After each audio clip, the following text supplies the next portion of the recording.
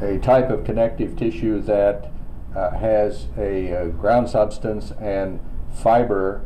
that is uh, associated with a reticular fiber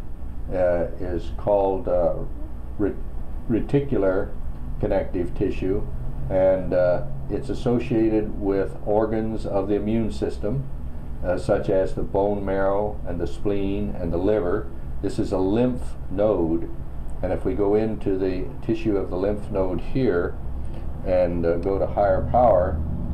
uh, we begin to see these dark staining fibers. And when we go to uh, high power and uh,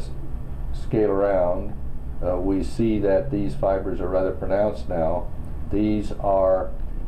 uh, reticular fibers that create a meshwork within this organ, the lymph node, and these are lymphocytes that are located between these supporting fibers of reticular uh, connective tissue.